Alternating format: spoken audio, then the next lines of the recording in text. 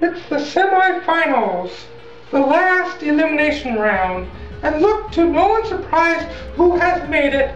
Isn't it the magnificent Hung Lo myself? But there's also two other people that have made it, and one of them is that damn Liam Doran. You have to wonder, with your crappy promos and all, how have you made it this far? Let's think back to your first round entry. You did a promo against Flame from Norway. And in that entry, we all said and we all know that Flame had the better points and the better promo than you. Your promo was quite frankly very crappy. But somehow, under a technicality that some people were saying that he couldn't cut his promo up into clips, although Sean Selby said it was okay and he was pretty much running things, that people voted against Flame somehow. And somehow you got spared and made the next round, and under some sort of miracle, you took control of the promo challenge. That sounds like some politics there, Leanne. So well played. You got your crappy promo through to the next round. But in that next round, you did a promo against Sean Selby. And may I say, it was a crappy promo too. I mean, your impressions were just stupid. A third grader can come up with better things than that, Liam. But what's important to see how crappy your promo was was the repercussions of that promo. Because Sean Selby seen that pro promo and he was thinking, what's the status of backyard wrestling and should I be in it? Then he seen your promo and he immediately concluded it was crap and a waste of his time. That's how crappy your promo was. And so he cut his losses and got out of backyard wrestling and took a vacation. And now he's out of it for an indefinite amount of time because he's seen your crappy promo and he doesn't expect it to get better. And I don't expect you to get better either. And so his career's in limbo now. And speaking of careers, I did a promo in that second round too. And I did against you. And do you remember what I said?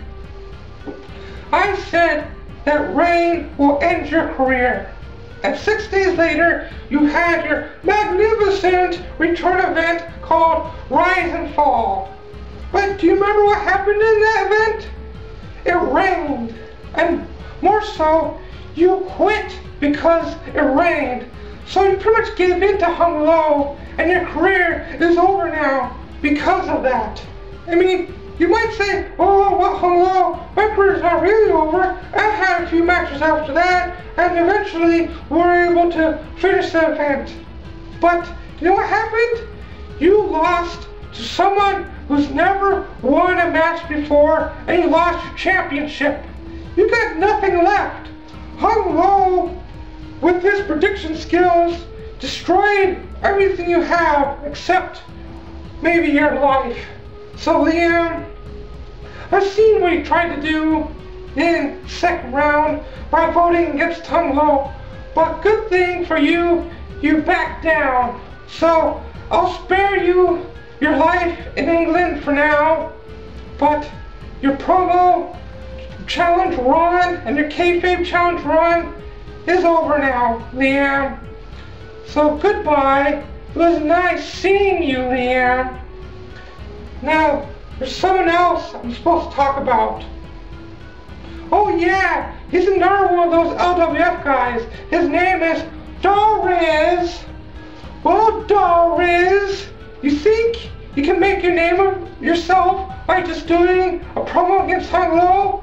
Well, I guess you're a little bit right, because a lot of people know about Hung Lo, and they're gonna be like, who's this the Rizz guy? But you may know this already. My promos have destroyed your little playmate in LWF. You know, that JLV? He's joined the women's division, and now he's doing some sort of German Nazi marching theme music. What's up with that, Rizz? I think he's totally off his rocker, and soon going to be over for him. So I destroyed your JLV, and now I'm destroying you. And you might have known this, but looks like you somehow want to protect yourself by joining up with this JLV who I destroyed. And with this Dan Angle, who I might destroy in the future, to form this group called the Third Ring. It should be called Low Victims Anonymous, past, present, and future. But let me tell you, the third ring can't protect you. And wait, wait a second, wait a second. The third ring, what does that even mean? So this group with this German Nazi marching guy, that's called the third ring. You know what Germany did in World War II? They had the Third Reich. Sounds a lot like the Third Ring, huh, you idiot? So what do you think you're gonna do? Like just like Germany did. So what did Germany do? What Germany did in World War II is that Germany, Poland, and France they gathered up all their enemies and people that weren't like them and put them in concentration camps. So do you think you can just get people like Hung Lo and put them in concentration camps and you guys are going to be safe? Let me tell you what. I already pretty much destroyed the third. Because Hung Lo is destroyed, I'm destroying you right now. And Dan Angle's probably going to be destroyed somehow in the future by some sort of aftermath. But you're saying that the third ring you joined it because you want to get a name for yourself in backyard wrestling? Huh, Rizz? Rizz? Do you think getting a name for yourself will put you over Hung Lo and you'll be bigger than Hung Lo? Well, let me tell you something. You'll be never as big as Hung. I will always be bigger than you because no matter what you do in backyard wrestling, Hung Lo is bigger than it all. More people know about Hung Lo than they'll ever know about you.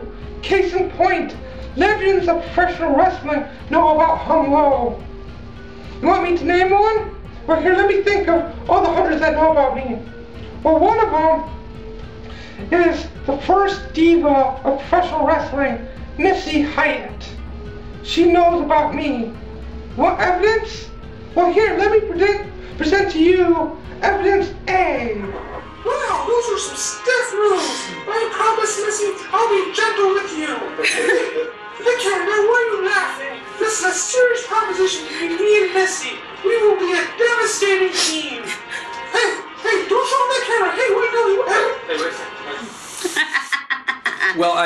a I love question there, but you can respond. Uh, Hung Lo, come on, baby.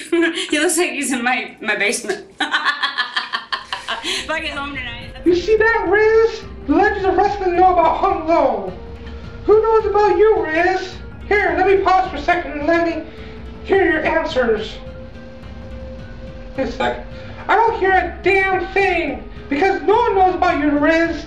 And no matter what you do in backyard wrestling, no one's ever going to know about you as much as they know about Hung Lo. I'm already bigger than you. In fact, take all the people in the third ring, like JLV and Dan Angle, and put all the people that know those people, including you, and add them all together. Their star power would equal even 1% of the star power that knows about Hung Lo.